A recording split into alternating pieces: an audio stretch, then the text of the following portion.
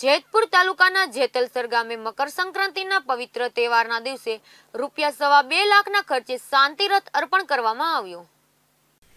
જેતલસર ગામે સ્વ સ્વર્ગ શ્રી મોહનભાઈ બાબરિયા તેમજ વિજયાબેન કનુભાઈ ભુવાના સમર્થન રૂપિયા, સવા બે લાખના ખર્ચે જીતુભાઈ બાબરિયા તેમજ નિતેશ કનુભાઈ ભુવા દ્વારા અંતિમ યાત્રા રથ જેતલસર ગ્રામ પંચાયતને અર્પણ કરવામાં આવ્યું હતું. તેમજ જેતલસર રામધૂન મંડળ દ્વારા ધૂન બોલાવીને વધાવવામાં આવ્યો હતો. આ રથને કાયમી સંભાળ રાખવા માટે એક હોલ બનાવવા માટેનો ખર્ચ જમનભાઈ ભુવા તેમજ દિનેશભાઈ પોદરા દ્વારા આપવામાં આવ્યો હતો. હોલનું ખાતમુહૂર્ત આજે ગ્રામ પંચાયત દ્વારા કરવામાં આવ્યું હતું તેમજ આ દાતાશ્રીઓ દ્વારા એવું જણાવવામાં આવેલ હતું કે દાન કરવાના પવિત્ર દિવસે લોકોને ઉપયોગી થઈ શકે તેવી રીતે દાન કરવું જોઈએ. આ રથ ગ્રામ પંચાયતને અર્પણ થતા જેતલસર ગ્રામવાસીઓ દ્વારા દાતાશ્રીનો આભાર માનવામાં આવ્યો હતો.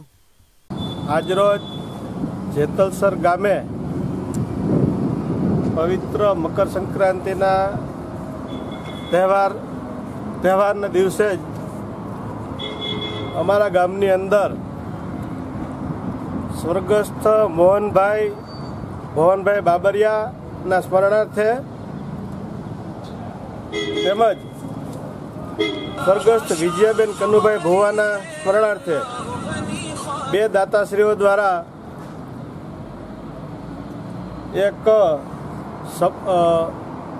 શાંતિ રથનું જે ગ્રામ પંચાયતને અર્પણ કરેલ છે, તેને ગ્રામજનો વતી અમે ખૂબ ખૂબ બિરદાવીએ છીએ અને બીજા બે દાતાશ્રીઓ દ્વારા એક આ રથને રાખવા માટે થઈને એક રૂમની જે વ્યવસ્થા કરી આપવામાં આવેલ છે, એને પણ અમે એવા બે દાતાશ્રીઓને પણ અમે વધાવીએ છીએ. આ ચારે ચાર દાતાશ્રીઓના નામ હું અહીંથી બોલું છું.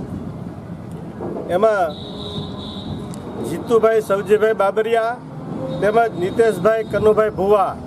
આ બંને દાતાશ્રીઓ દ્વારા ગ્રામ પંચાયતની અંદર શાંતિ રથનું એક અમને લોકાર્પણ કરેલ છે અને એમની કિંમત અંદાજે સવા બે લાખ રૂપિયા જેવી થવા જાય છે. તેમજ આ રથને કાયમીની સાર સંભાળ રાખવા માટે થઈને એક રૂમના બે દાતાશ્રીઓ દ્વારા એક રૂમ પણ અર્પણ કરેલ છે.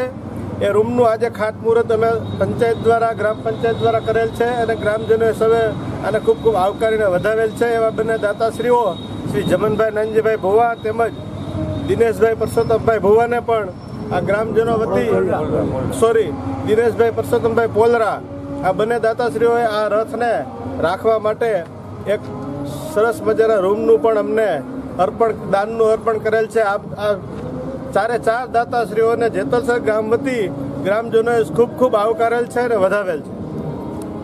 નિલેશ મારુ સાથે કેટીવી ન્યૂઝ ગુજરાતી જેતપુર.